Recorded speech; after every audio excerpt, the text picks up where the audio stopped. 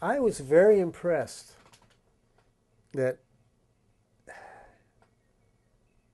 we were playing at the Whisky, and there were these kids lining up early to buy tickets. And there was one kid sitting there named Joey, and Roger was talking to him. And he gave Roger some lyrics on a piece of paper, evidently. I think this is the story. And we wound up recording the song. And I, I think Roger was trying to cut a song in a, in a mode, in a style that none of us had ever done, that, well, the Byrds had never done before. It's an obvious rock groove.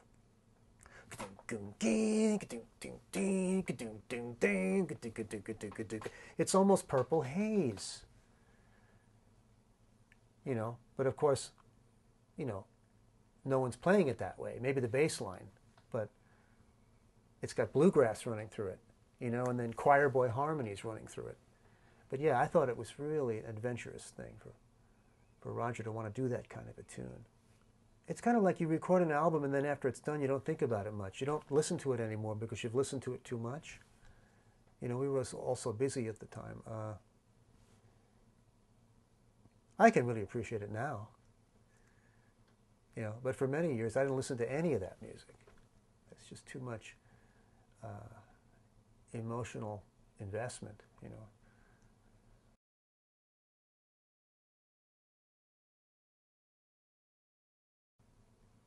I think your first point is really valid. Um, as to Americans embracing country music, not really.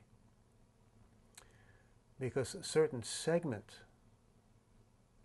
of America is comfortable with country music.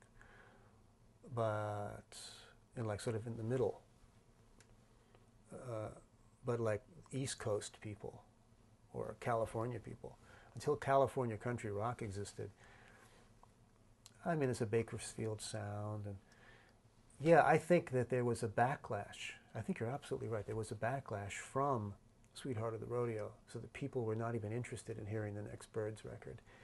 Um, there's also a possibility that a decision was made, you know, at Columbia. You know, like, oh, these guys are, they've lost it, they, they're washed up, or, or they picked the wrong single.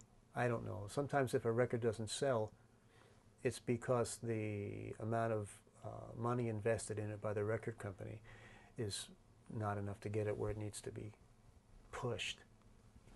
You know, so we don't we don't really know why those things happen. You think it's oh the public is in charge, but it's a combination of the tastes of the public, but it also has to do with what's pushing the music. There's a big machine pushing the music, so the public gets the message. Oh, this is a great new Byrds record.